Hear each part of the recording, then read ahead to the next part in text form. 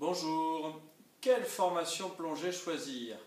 La meilleure, c'est celle qui se passera avec le formateur que vous appréciez le plus. Ensuite, il faut savoir qu'il y a deux grandes écoles de plongée dans le monde. L'école française, la FFSSM ou la NNP essentiellement, et l'école américaine PADI, qui est très reconnue partout dans le monde. Ce qu'il faut savoir, c'est que le but de ces deux organisations, c'est que vous trouviez du plaisir à plonger. Donc, quel que soit votre choix, vous ne serez pas déçu. Si vous souhaitez commencer avec la formation française, il s'agit du niveau 1 français ou du PE20, plongeur encadré 20 mètres. Si vous souhaitez choisir l'organisation américaine PADI, il s'agit de l'Open Water PADI, plongeur encadré jusqu'à 18 mètres. Donc ces deux formations se reconnaissent l'une l'autre puisqu'il y a des équivalences. Hein. donc de toute façon, vous ne serez pas déçus. Ce qu'il faut savoir, petite différence entre l'école française et l'école américaine qui est liée à leur origine.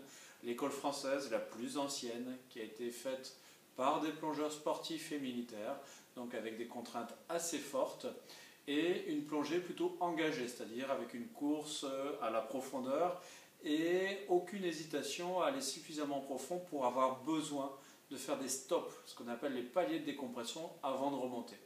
Donc les formations françaises sont logiquement, surtout dans les niveaux après le niveau 1, plus exigeantes, notamment en matière de sauvetage, puisque vous n'avez pas le droit forcément de regagner la surface n'importe comment pour éviter euh, les problèmes d'accident de décompression si vous ne respectez pas des procédures de remontée très précises.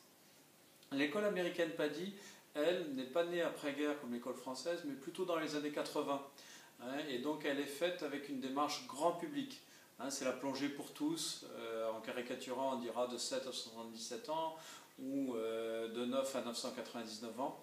Euh, mais le principe c'est de faire plonger tout le monde et donc de faire la plongée sans risque.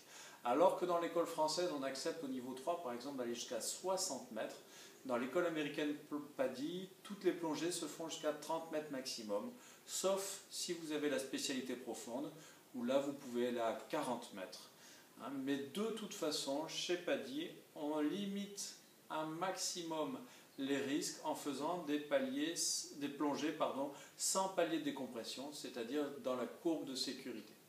De toute façon, pour commencer, niveau 1 de l'école française, FFS, SM ou ANNP, ou Open Water Paddy, vous allez vous régaler, vous allez apprendre à évoluer dans 18-20 mètres d'eau en vous faisant plaisir en groupe accompagné par un guide.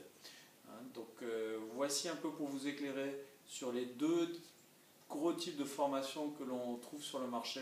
De toute façon, elles vous procureront beaucoup de plaisir et le mieux c'est encore de choisir une formation qui double les compétences, mais de toute façon, elles se reconnaissent l'une l'autre grâce à des accords transversaux d'équivalence.